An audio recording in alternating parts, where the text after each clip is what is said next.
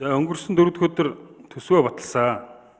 Төсөв батлах хугацаанд баталсан өдөр ерөнхий сайд маань ямар ч хэлэлцүүлэгт ороогүй.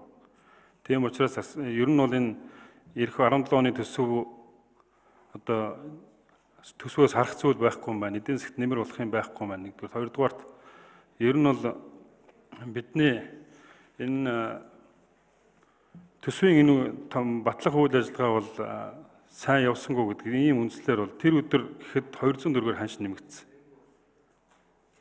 100 төгрөгөөр. Маргааш нь Монгол банк интервенц хийгээд 200 төгрөгөөр буурч агшаад. Нэг өдөр 5 хувиар валютын ханш нэмэгдээд нөгөө өдөр нь 9 хувиар буурдаг юм ерөөсө дэлхий дээр байхгүй л дээ.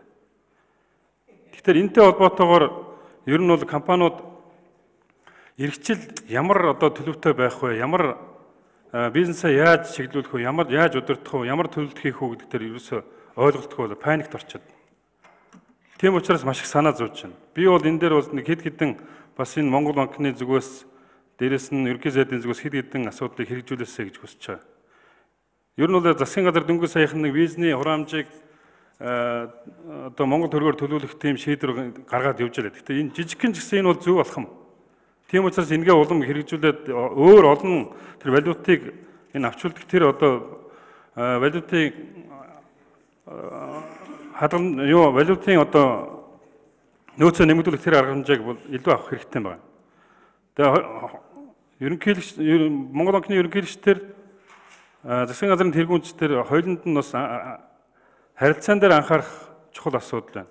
Ер нь бол ардын намынхан нэг жоохон буруу нь бол нэг дарга би дарга гэдэг байдлаас асуудал ханддагт жоохон асуудал байгаад байна. Тийм учраас тэр өнөөдөр бол жишээ нь Монгол улсын валютын нөөцөөс валютын арилжааны банкн дээр валютын хадгаламж нь хамаагүй илүү гарцсан. Тийм учраас энэ банкуд ч бас тодорхой хэмжээгээр энэ валютын ханшийг удирдаад байна шүү дээ.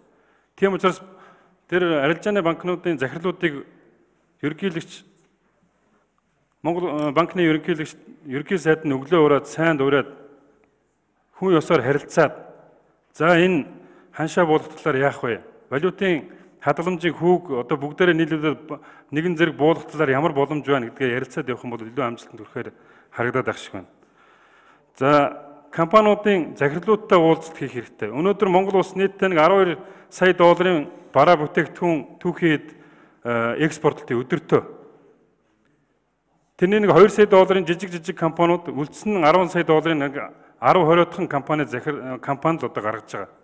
Тэр 10 20 компанитай уулзаад бас тодорхой хэмжээгээр энэ валютын төлбөрүүдээ яаж оруулж авах талаар, оны өмнө яаж оруулж авах талаар бас ярилцмаар байна. Олон улсын валютын сан та бүхэн стендбай хөтөлбөр авах авахын тулд жилийн эцсээр 1.2 тэрбум долларын нөөцтэй байх ёстой гэсэн шаардлага тавьсан гэсэн. Жилийн эцэст 1.2 байх ёстой болохоос наан нь хэд байх нь чухал биш.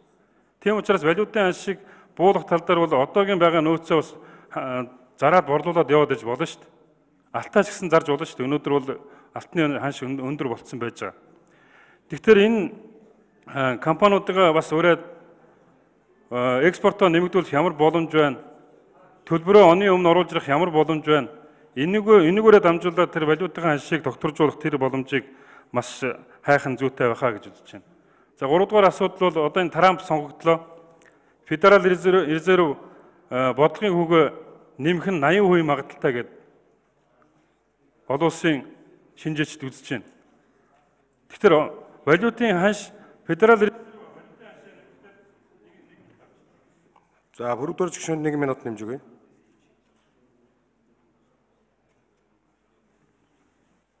Федерал резерв бодлогын хүүгээ нэмнэ гэдэг бол хөгжиг буураа орноос хөгжиж байгаа орноос хөгжингүү орн руу валют урснаа гэсэн үг.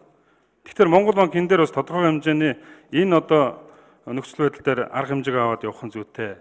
За Монгол банк маш тодорхойгүй байна.